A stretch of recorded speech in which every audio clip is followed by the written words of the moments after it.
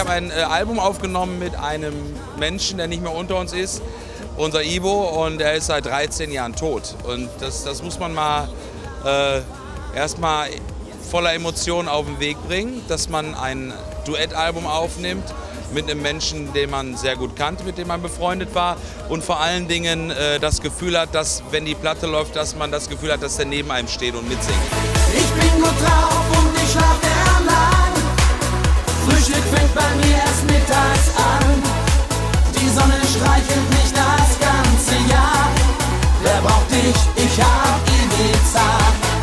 Das ist einmalig, hat es in der Schlagergeschichte noch nie gegeben und freue mich, dass ich da mal wieder Vorreiter bin. Und ich glaube, ich habe mir die passende Zeit ausgesucht, um so ein mördergeiles Album auf den Markt zu bringen, was auch komplett abgesegnet ist von Ivos Familie. Das war mir ganz wichtig, dass da, hätte einer gesagt nein, hätte ich es auch gelassen, weil halt viele Emotionen im Spiel sind.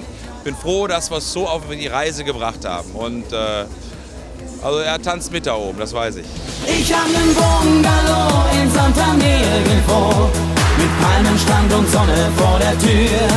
Da lieg ich stundenlang und amüsiere mich dann.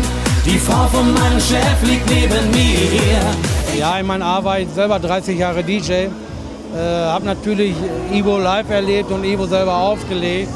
War schon sehr spannend. Äh, auf einmal diese Stimmen, die ja im Original auf irgendwelchen Bändern verbannt waren, zu digitalisieren, zu bearbeiten. War schon spannend, ja. Dann hab ich mein Programm. Olaf kam irgendwann an und sagte, ich möchte eine Ibo-Nummer singen. Der war für mich immer mein Held irgendwie und ich will jetzt eine Ibo-Nummer singen. Da habe ich einfach gesagt, ein Olaf Henning covert nicht. Das Einzige, was für mich in Frage kommt, ist, äh, du singst im Duett mit Ibo. Sitzt sie hinter den Bergen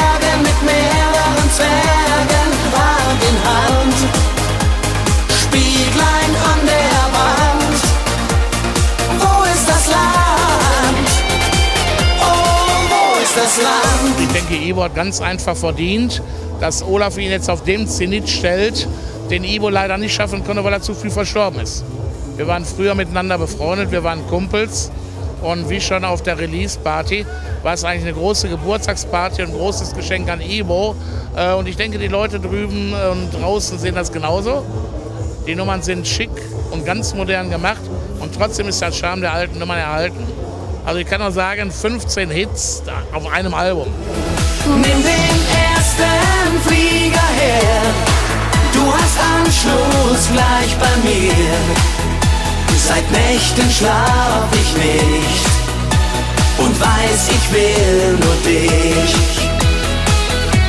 Olaf hat einfach, der hat schon alleine die Ausstrahlung, der, der bringt das rüber. Man, beschreiben. Wenn man davor steht, man fiebert einfach mit. Ich fand das toll, dass er dabei also erst ruhig war und ließ Ivo dann singen. Und also ich fand es toll. Ich fand's, als wenn Ivo live dabei gewesen wäre irgendwie. Ja, man schlägt halt wirklich in Erinnerung an früher. Wie es früher war und wie es jetzt ist. Früher hatte man noch keine Probleme, heute macht man sich den Kopf, man will wieder zurück. Ivo war schon ein super Künstler der 80er Jahre, glaube ich, oder der 90er so ungefähr.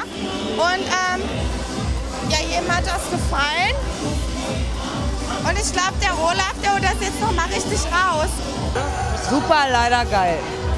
Ich habe das ganze Album auf meinem Handy, also war Oberhausen Ole, da hat er das vorgestellt, also hammergeil. Ist gleich bei mir. Seit Nächten schlaf ich nicht und weiß, ich will nur dich. Die Lieder kommen an, die Leute haben Spaß, jeder kennt es, jeder singt es. Wir haben in ein Wespennest gestochen und das ist gut so. Es geht bei diesen Texten alleine auch nur um Beziehungen.